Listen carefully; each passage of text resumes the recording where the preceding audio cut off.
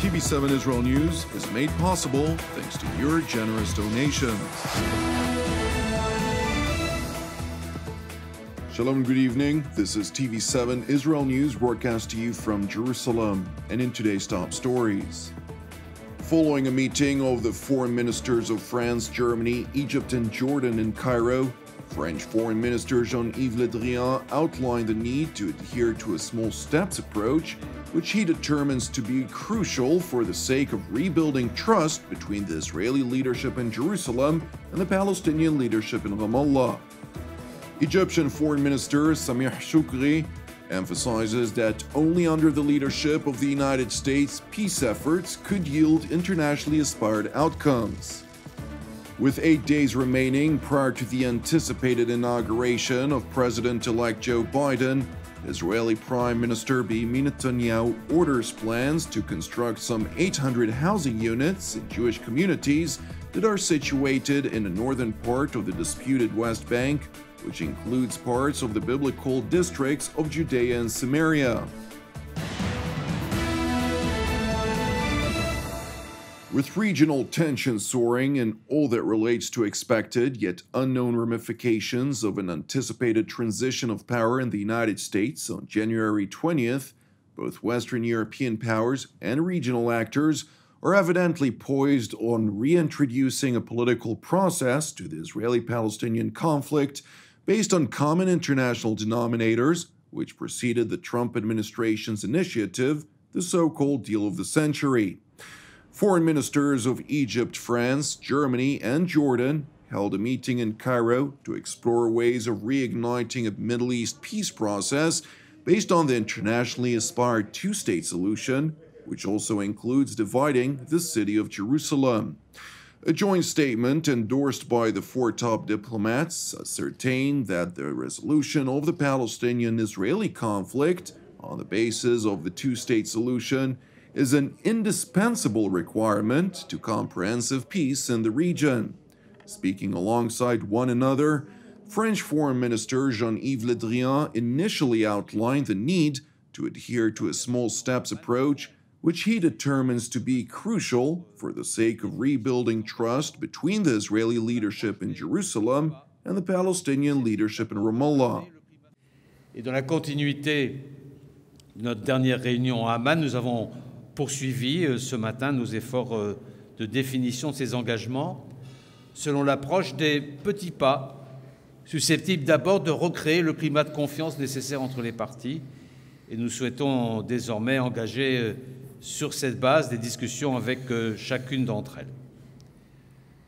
Pour qu'une dynamique vertueuse puisse s'engager, la logique du dialogue doit remplacer celle des actes unilatéraux et c'est ce à quoi notre groupe veut contribuer dès à présent parce que la situation sur le terrain, elle, n'attend pas.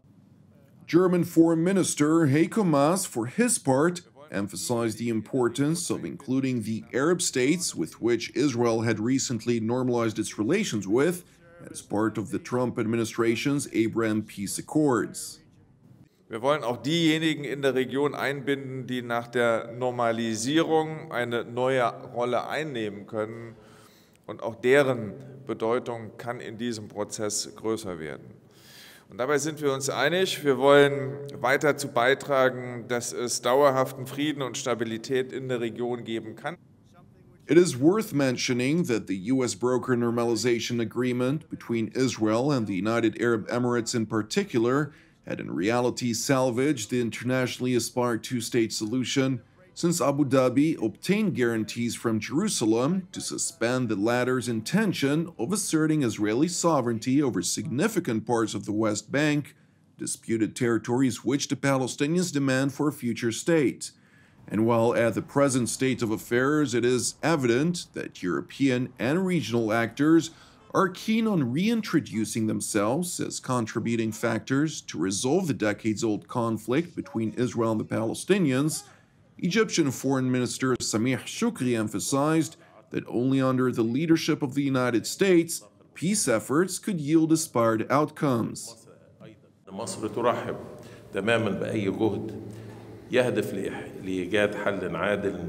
لهذه القضيه ولذا نحن ندرك ندرك المسؤولية المهمة الواقعة على عاتق الرباعية الدولية من أجل إطلاق المفاوضات. كما تدرك تدرك مصر أيضا الدور المحوري الذي تقوم به الولايات المتحدة الأمريكية من أجل إيجاد حل لهذه القضية. Jordanian Foreign Minister Ayman Safadi, whose country spearheads relentless efforts to keep a two state solution on the global agenda, highlighted Europe's central role in all related efforts to reach a peaceful settlement to the Israeli Palestinian conflict, since the European Union continues to act as the largest financial benefactor of the Palestinian Authority. Nevertheless, Jordan's top diplomat went on to voice his agreement with his Egyptian counterpart over Washington's leading role in all that relates to peace efforts. وندرك ضرورة العمل وأوروبا لها دور أساسي وكبير في كل جهود التوصل إلى التسوية السلمية التي ننشدها. وكما قال أخي سامح أيضا الدور الولايات المتحدة هو دور قيادي في كل جهود تحقيق السلام ونتطلع إلى العمل مع الولايات المتحدة استمرار العمل مع الولايات المتحدة من أجل لملمة الأمور مرة أخرى والعودة إلى طريق المفاوضات الذي ياخذنا باتجاه السلام الشامل.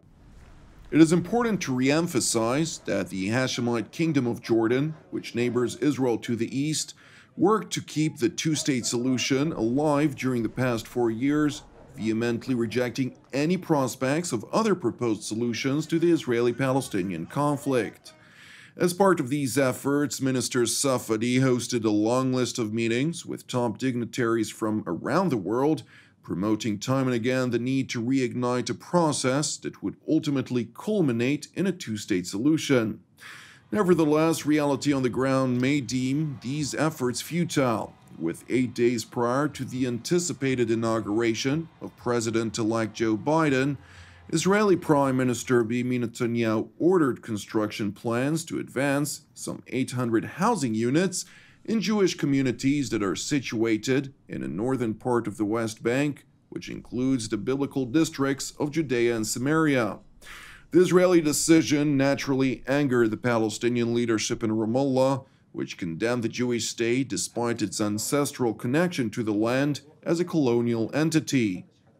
ما يقوم به رئيس حكومة الاحتلال نتنياهو في سياق محاولة تثبيت الوقائع على الأرض والعطاءات الاستيطانية الاستعمارية غير الشرعية وغير القانونية وإعلانه اليوم عن هذه ال 800 وحدة استيطانية استعمارية يشكل مزيد من تصعيد العدوان والإجرام ضد الشعب الفلسطيني. نحن نعتبر كل الاستيطان الاستعماري غير الشرعي وغير القانوني هو يحاول استباق الوقت واستغلال هذا الوقت بعد الانتخابات الأمريكية وقبل أن يتم تسليم الإدارة الجديدة في سياق محاولته لفرض هذه In spite of the Palestinian condemnations, alongside presumed anger from Biden's future administration over the move, Samaria Regional Council head Yossi Dagan insists that the legal jurisdiction over construction, very much like the responsibility over security and the economy, belongs to the Israeli government alone, which should not be subject to foreign interference. הבנייה והאחריות לבנות את הארץ שלנו בדיוק כמו האחריות על הביטחון ועל הכלכלה היא של הממשלה שלנו.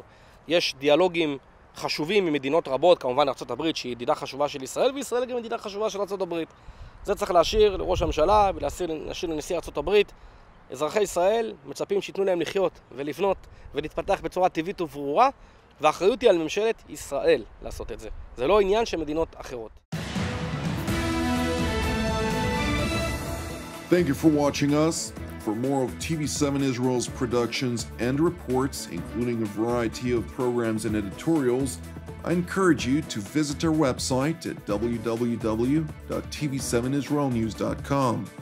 Furthermore, as part of TV7 Israel's prayer initiative, I would like to encourage you today to join myself and the team here in Jerusalem to lift up South Sudan in prayer for its salvation and peace, alongside prayers for our persecuted brethren around the world, in addition to our ongoing prayers, of course, for the peace of Jerusalem, the salvation of Israel, and for all those who are impacted by the corona contagion and its numerous ramifications worldwide.